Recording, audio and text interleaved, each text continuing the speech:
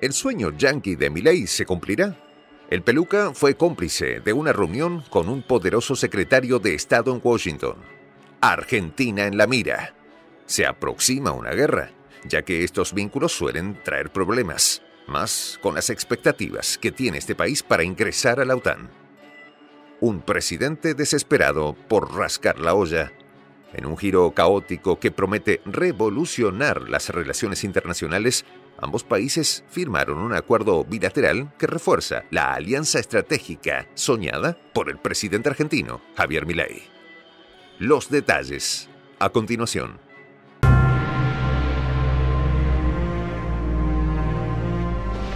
Voz de la Patria Grande. Diana Mondino se reunió con Blinken la reunión, celebrada con un despliegue de pompa y protocolo, culminó con la firma de un entendimiento marco para el establecimiento de un diálogo estratégico de alto nivel. Según el Ministerio de Relaciones Exteriores de Argentina, este documento es una manifestación de la firme voluntad de ambos gobiernos de sellar una alianza que muchos consideran histórica. Argentina en peligro de extinción en una conversación que abarcó una amplia gama de temas desde la democracia y los derechos humanos hasta el crecimiento económico y la ciencia y tecnología, Blinken y Mondino analizaron cómo sus países pueden trabajar juntos para enfrentar los desafíos del futuro. Ni sus propios ídolos le hacen halagos Blinken escatimó en elogios hacia la gestión de Milley, a pesar que en los últimos meses se ha visto una intensificación sin precedentes de la cooperación entre las dos naciones. Mondino, por su parte, no perdió la oportunidad de recalcar que Argentina está en una posición única para convertirse en un proveedor confiable de insumos estratégicos de salud y minerales críticos gracias a su avanzada capacidad humana y tecnológica. Argentina está dispuesta a regalar su artillería con una retórica que parecía sacada de una novela de suspenso, la canciller también reiteró el interés de Argentina en alcanzar el codiciado estatus de socio global dentro de la OTAN, un deseo formalizado en una carta enviada el mes pasado. Mondino también sostuvo reuniones a puerta cerrada con poderosos empresarios norteamericanos en la Cámara de Comercio y con influyentes autoridades del Tesoro de Estados Unidos en un tono que no dejaba lugar a dudas, instó al gobierno estadounidense a tomar acciones concretas, como la apertura de mercados para exportaciones argentinas y la inclusión del país en la Alianza de las Américas para la Prosperidad Económica. Además, demandó la inserción de Argentina en cadenas de suministro estratégicas y su inclusión en los beneficios en la ley de reducción de la inflación. Tras el tenso y esperado encuentro, Mondino y Blinken se dirigieron a la prensa demostrando un supuesto compromiso con el diálogo estratégico. La canciller argentina, con una seguridad que podría envidiar cualquier actor de Hollywood, aseguró que Argentina está promoviendo el desarrollo a través de la democracia y la libertad, valores que comparte con Estados Unidos. Auguró también que la intención es ampliar la agenda de comercio e inversión para mejorar la vida de los ciudadanos de ambos países. En un desenlace digno de los mejores melodramas, la firma del acuerdo promete ser un punto de inflexión en la historia de las relaciones bilaterales entre Argentina y Estados Unidos, abriendo las puertas a una colaboración sin precedentes en áreas clave. El futuro de esta alianza estratégica, cargado de promesas, será seguido de cerca por todos aquellos que esperan ver cómo se desarrolla este emocionante capítulo en la diplomacia internacional. Milei, ¿es o se hace? Los exabruptos en España van en línea con una serie de dislates que solo guardan coherencia en su nulo apego soberano. El conflicto diplomático generado con España por el presidente Javier Milei no hace más que generarle alegrías podría concluir alguien que se guiara por sus expresiones públicas de júbilo y de haber llegado surfeando en lágrimas socialistas. Los dirigentes, conocedores de la diplomacia y los especialistas de este lado y del otro del océano observan la antidiplomacia de Milley como un intento de erigirse como el gran interlocutor en América Latina para la ultraderecha europea consistente con su discurso, lo que Milei hace rompe con todo lo hecho hasta aquí por presidentes argentinos de distintos signos políticos desde 1983 a la fecha. Guillermo Carmona, ex secretario de Malvinas, Antártida y Atlántico Sur en la Cancillería Argentina, observa que Es muy evidente que la libertad avanza usa calificaciones que no son propias de esta época, sino que son propias de la Guerra Fría.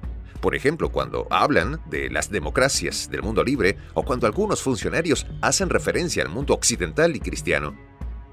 En cuanto a la orientación de la política exterior del gobierno de Milley, se ha resaltado su extremismo ideológico, lo cual provoca un dogmatismo en el diagnóstico de la situación mundial y en la calificación de los distintos gobiernos.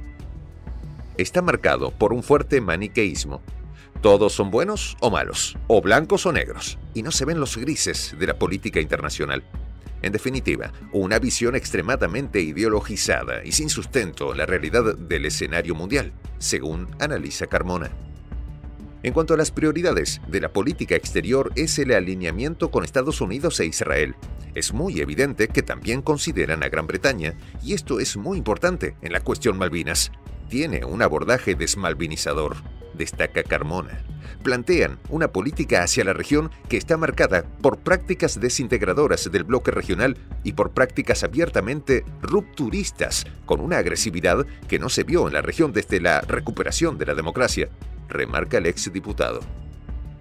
Jorge Agüello fue dos veces embajador en Estados Unidos y siguió de cerca cuatro administraciones estadounidenses, las de George W. Bush, Barack Obama, Donald Trump y Joe Biden tiene la capacidad de captar procesos de formación y analizarlos. Luego de su última gestión como embajador en Washington, que terminó en diciembre de 2023, publicó Las dos almas de Estados Unidos, Viaje al corazón de una sociedad fracturada, donde plantea que hay posiciones que hoy parecen irreconocibles y considera que la elección de 2024 serán un test de fuerza para el sistema democrático estadounidense.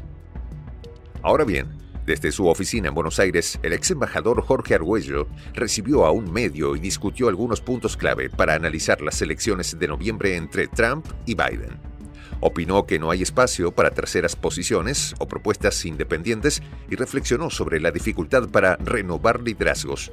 También habló sobre las relaciones bilaterales entre Argentina y Estados Unidos y las implicancias de la irrupción de Javier Milei en la política exterior. Estados Unidos, como muchas democracias occidentales, atraviesa un proceso de fragmentación y polarización, aunque con una intensidad distinta a la de Argentina.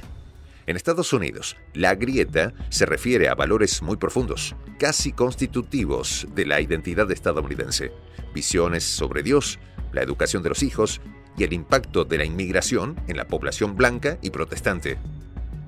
Si hubiese que identificar el inicio de esta grieta, Argüello se remontaría a los 90, durante el gobierno de Bill Clinton y el liderazgo del entonces jefe de la bancada republicana, que promovía posiciones ultraconservadoras. Este fenómeno continuó con el movimiento Tea Party durante la gestión de Obama y culminó con Donald Trump, quien transformó el Partido Republicano en un partido trumpista.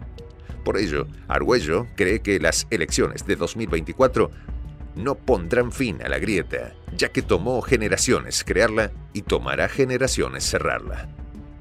Argüello observa que en los procesos de polarización las posiciones tienden a cristalizarse sin espacio para opciones independientes. Ahora destaca la dificultad para renovar liderazgos. Ambos candidatos, Biden y Trump, son de avanzada edad a pesar de varios aspirantes en ambos partidos, el fuerte liderazgo de Trump ha opacado otras alternativas y Biden es candidato por su voluntad política personal, no por una decisión consensuada dentro de su partido. En cuanto a las relaciones exteriores, Argüello ve diferencias significativas entre la política actual y la de los 90, destacando la importancia de la relación Estados Unidos-China cree que un alineamiento automático de Argentina con una de estas potencias no favorece el interés nacional que debería basarse en multiplicar los vínculos internacionales. Critica las decisiones del gobierno de Javier Milei por su falta de consistencia y consenso, lo que puede afectar la previsibilidad y atraer inversiones. Argüello subraya que la relación bilateral entre Estados Unidos y Argentina ha sido positiva en los últimos años, con visitas de altos funcionarios estadounidenses como muestra de un continuo intercambio. Sin embargo, percibe un interés de Estados Unidos en la región, principalmente cuando hay actividad y actores extrahemisféricos. desde España, observan algo similar. Milei vino a apoyar a su amigo Santiago Abascal de Vox de cara a las elecciones europeas y a mostrarle a la ultraderecha que él es su interlocutor en América Latina. Así considera ante este diario Gerardo Pizarello, diputado español y ex vicealcalde de Barcelona. En resumen, Milei reemplazó la defensa de los intereses nacionales por la provocación y el insulto. Esto solo aísla a la Argentina. Prefiere ser tendencia en redes sociales que traer inversiones o aumentar exportaciones elige el aplauso fanático a una posición constructiva sobre la convulsionada y diversa agenda global. Soy el J, Juan José del Castillo, director del canal Prensa Alternativa. Si quieres ser parte de la comunidad de la Patria Grande, suscríbete a nuestro canal. Si es que quieres que te lleguen las notificaciones cada vez que subimos un video, activa la campanita. Si quieres apoyar a nuestro canal económicamente, puedes hacerlo a través de PayPal. El enlace está en la descripción del video. A nombre del equipo de prensa alternativa, me despido con esta expresión en el quechua milenario, Tupananchis Kama, cuya traducción es hasta volvernos a encontrar.